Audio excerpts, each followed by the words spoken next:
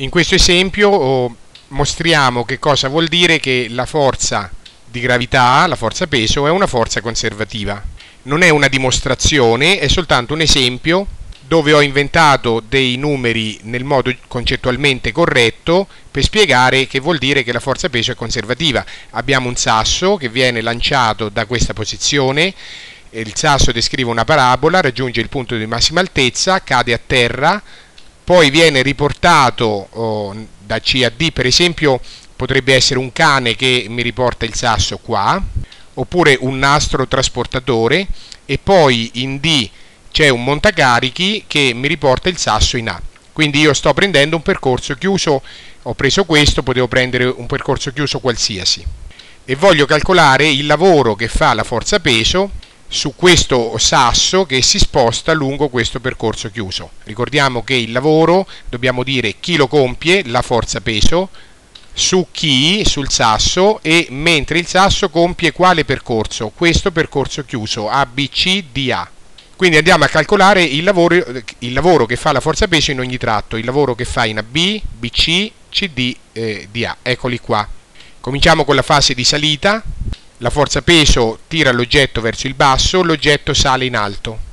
Dividiamo il eh, percorso in tanti pezzettini, quindi in tanti piccoli spostamenti e in ogni spostamento la forza peso fa un lavoro resistente. Perché?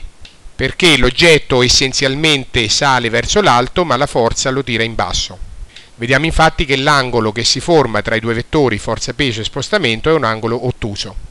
Quindi abbiamo tanti pezzettini di lavoro negativi. Immaginiamo che tra A e B, sommando tutti questi pezzettini di lavoro resistenti, il lavoro che fa la forza peso tra A e B sia meno 10 joule. In B per un attimo la forza peso non fa lavoro perché lo spostamento per un momento è orizzontale, la forza peso è, verticale, l'angolo è un angolo retto, quindi per un attimo fa lavoro nullo la forza peso.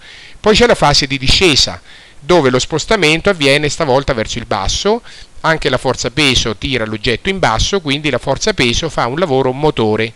Anche qui dobbiamo sommare tutti i pezzettini di lavoro, idealmente, e otteniamo per esempio 15 joule positivi.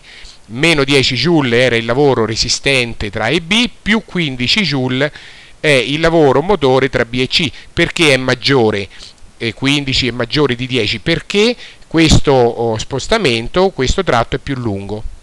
Poi la forza peso oh, agisce sempre verso il basso eh, tra C e D, ma l'oggetto si sposta in orizzontale. Quindi spostamento orizzontale, forza peso perpendicolare allo spostamento, lavoro nullo. Infine, eh, nel tratto di risalita DA, la forza peso va verso il basso, lo spostamento va in alto, quindi è un lavoro resistente. La forza peso fa un lavoro resistente, per esempio, di meno 5 joule. I numeri li ho inventati, eh, però li ho inventati nel modo corretto affinché la somma di tutti questi lavori faccia 0. Infatti abbiamo meno 10 joule più 15, 0 joule meno 5, sommando tutto 0 joule. Non è una dimostrazione, è soltanto un esempio numerico per far capire come si comporta la forza peso. Fa un, una serie di lavori positivi, negativi, nulli, ma nel complesso, lungo un percorso ciclico, cioè l'oggetto si sposta lungo un percorso chiuso, nel complesso la forza eh, peso fa un lavoro pari a zero.